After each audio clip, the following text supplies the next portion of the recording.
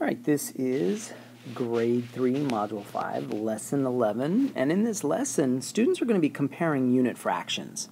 But uh, up until now, students have been just given um, unit fractions where they were comparing the wholes, and the wholes were identical. For example, 1 half and 1 third. 1 half would look like this, and one third would look like this, and they could compare the two fractions, but that was because they were giving, given the same sized whole, W H O L E, whole. Uh, in this lesson, we help students remind, or understand that if you have different sized wholes, then it, it becomes trickier to compare your fractions. So let's get started on this. So here, uh, we're going to begin by doing all whole where the wholes are all the same. All right, so label the unit fraction, and that's this side. And then in each blank, draw and label the same whole. See, that's the thing, that's the key. The same whole with a shaded unit fraction that makes the sentence true. All right, and uh, parents and teachers, the cool thing about this lesson is that there is more than one correct way. So there, this isn't going to be a video that you could use as the answer key. Uh, but let's get started on this. So first, the left side, here, we need to identify the unit fraction. So we're going to count, and there's eight pieces, and one of them is shaded. So our unit fraction is one eighth. Now, we have to draw the same whole. So I'm going to try and estimate, draw, but this time we need 1 eighth to be greater. So I'm going to make it, oh, let's do tenths. All right, and now if I shade in this little guy,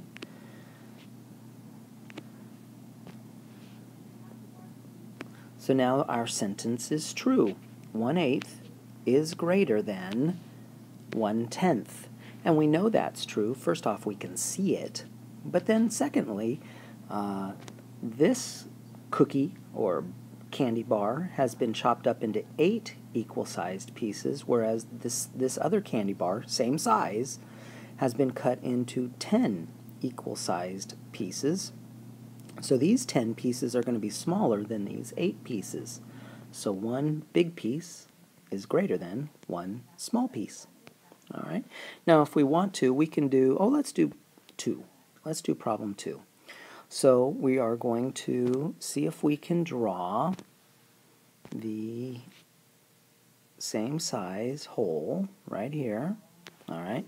Now we can clearly see that this is 1 fourth now we need to make 1 fourth less than something over here, a unit fraction over here. So let's, oh, I know, we could just chop it in half. There we go. 1 fourth is less than 1 half. So this is more of the same. Uh, fill in the blank with a fraction to make the statement true. Now it says a fraction, uh, although when I look at the answer key, uh, it kind of looks like they want us to make it a unit fraction, although the directions don't specifically say that. Um, so uh, I'm going to try and do it with a unit fraction, and then it also says draw a matching model. So we're going to start, oh, let's do this one, 1 sixth. And 1 sixth is supposed to be greater than something. So Let's start by we're going to try and draw the exact same shape only this time I need to make something that is smaller than this because 1 sixth is supposed to be greater. So what I'm going to do is I'm just going to keep chopping and I'm going to chop everything each of those original six pieces in half. So now we have 12 pieces, and there's our unit fraction. So 1 sixth is greater than 1 twelfth. All right? Teachers uh, and parents, this is another one of those um, problems where there's going to be more than one right answer. And the idea that we want students to be practicing at this point is to make sure when they draw their whole, it's they're trying to make it the same size, and then they're trying to uh, cut it into fewer pieces or more pieces in order to fill this answer. But the idea is, man, there's more than one right answer, and let's celebrate that. So this is one of those perfect opportunities. And the last slide for this video, uh, Debbie ate one eighth of a large brownie. Julian ate one half of a small brownie. So there's the, the, the kicker right there. Now Julian says, I ate more than you because one half is greater than one eighth. It, now here's the surprising thing. It says use word, pictures and words to explain Julian's mistake. Now the neat thing is, Julian, what Julian said is kind of true. One half is bigger than one eighth. But that's only if you're talking about brownies that are the same size. But we can use um, we can use pictures to show that hey, Julian might be wrong. It's possible that one eighth in this case is actually bigger than one half. And let's let's draw an example of that. So we could draw an example of couple of brownies where one eighth is actually bigger than one half. So there's one eighth right here. So there's our one eighth.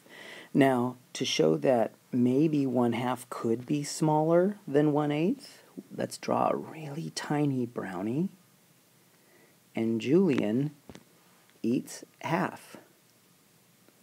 So here's an example where one half is actually smaller than one eighth. So there's our uh, explanation to show that it's possible that while one half is really bigger than one eighth as actual numbers, when you're talking about brownies that are the same size, but in this case, we can actually force a half to be smaller than an eighth if we use brownies that are different sizes.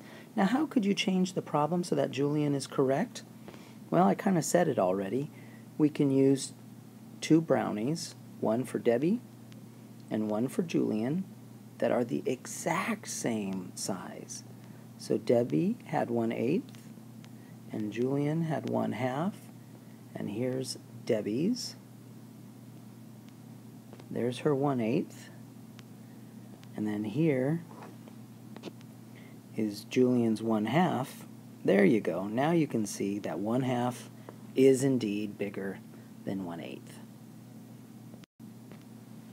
And that wraps up Grade 3, Module 5, Lesson 11, where we're comparing fractions, but this time we are also playing with the idea of different sized wholes, and that makes comparing fractions a little trickier.